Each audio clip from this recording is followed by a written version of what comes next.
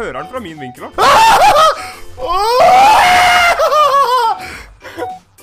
Åh, Har den det?